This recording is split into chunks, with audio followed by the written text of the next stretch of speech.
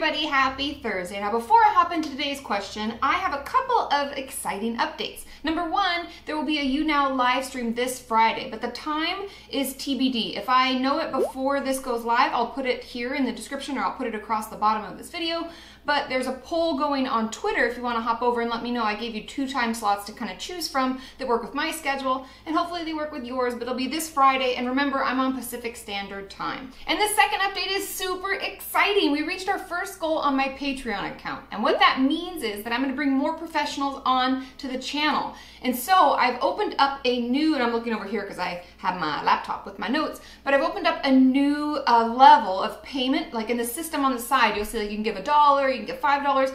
And at the $10 mark, I've opened it up for a poll so that you can tell me what professionals you want on. And I know a lot of you also want to interact more with what videos that you see. And so I've opened up another level. Hop on over to my Patreon account. You can click the link in the description to check it out. But I put that out there so that I can get more information from you and give you the videos and the professionals that you're interested in. So check it out. Now into today's question. So the question is, and I got this from my website, katimorton.com. If you haven't hopped over there, hop on over. But the question is, Hey Kati, I want to show my therapist my self-harm cuts. She always asks if I've been cutting it and if it's bad. I don't know what she thinks of as bad. I also really just want to show her my cut so she can answer the question for herself. Also because I want to have someone else see how much I'm hurting. Family slash friends don't know about the cutting, but I don't want her to think that I'm trying to show her just for attention or something, so how do I bring it up? Now I want to talk about this because first of all, I've gotten maybe five questions that are very, very similar to this, and I may have talked about it in other videos, but it's always good to revisit topics that are of importance to you and things that I see a lot. Now, the first is that self injury is a coping skill. Like many other things, like people who drink to cope or eating disorder behaviors that help us cope with hard situations. Many of us um, exercise to cope. There can be a lot of healthy slash unhealthy coping skills we use in our life self injury being one of those. And so, from this, I just want to get that out there first so that we understand kind of where this person's coming from. So, she's really struggling. And clearly, by her question, we can tell that she utilizes self injury as a way to express how she's doing, how much she's hurting. And that's something I've talked about in an older video of mine of like, why do we self injure? And in her case, it sounds like it's more of an expression to be like, yeah, things are shitty and I'm really, really hurting. So I want to show you my hurt. This is what I'm doing.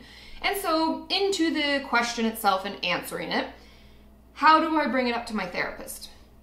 Now, first of all, as a therapist, I don't ask to see self injury cuts unless I worry, based on conversations I've had with my clients, that they're infected, that they're not getting the right treatment, and that they may need to go to the hospital and get stitches, stuff like that. So I may ask only for that purpose, but I I've only had to do that once. So it's very, very rare that I actually ask to see self-injury cuts or scars because I find from my clients telling me and from you guys telling me, it can feel very invasive, make us feel really vulnerable. Some of my clients say that they're really embarrassed when people ask about them, touch them, anything like that it can be really triggering and really difficult. And so I try to respect their privacy that way. But if we're on the flip side where we really want someone to see them, I would say it just the way you said it to me. I know I say this all the time, but often you will all ask questions, and I think that's exactly how I'd want my client to ask me. Just to be straight with me. It's fine to just ask, like to say it directly and to ask the question directly. There's no wrong way to say something in therapy. Just throwing that out there. The more information that we're sharing with our therapist, the better. And so if we went into session, we just said, you know, I've really been hurting, and you always ask me if my self injuries like if my cuts are really bad. And I don't really know what you think of as bad, but I would like to show them to you because I want to make sure that you understand what I'm going through and we both know how bad they are.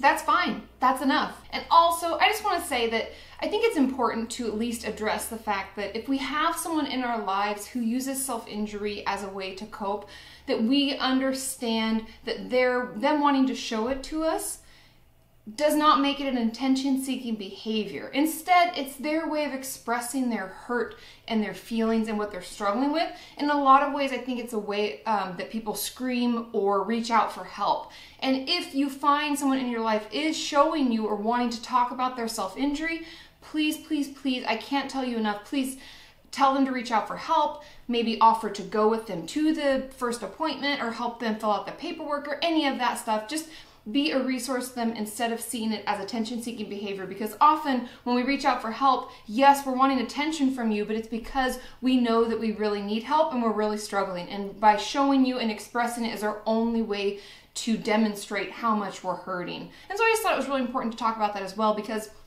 I know a lot of people worry about reaching out for help because they are afraid people are going to think that they're seeking attention when in fact we're actually seeking help. And those are two totally different things.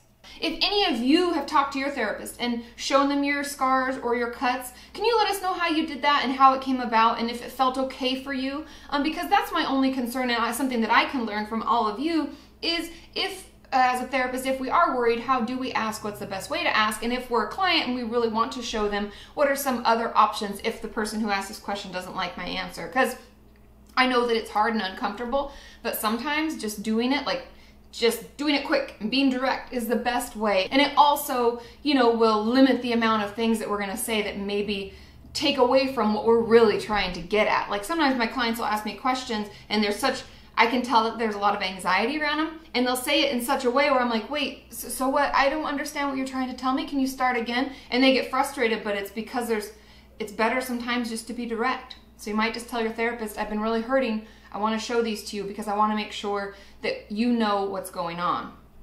That's fair enough. I doubt she's going to say no.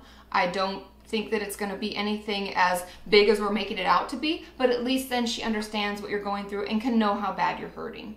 I love you all. I hope you found this video helpful. Please share it if you think it could help somebody else. Please give it a thumbs up for the same reasons. And if you haven't subscribed, click here to subscribe. And if you're wondering what my Patreon account is, I'll put the link below. Is there anything else I should tell you about? I will see you all tomorrow on the live stream. And the time is TBD. Check out my Twitter account because there's a poll going where you're all talking about it. It's either 10.30 in the morning or 10 in the morning or 1.30 p.m. Vote and let me know. And then I will see you then. Bye.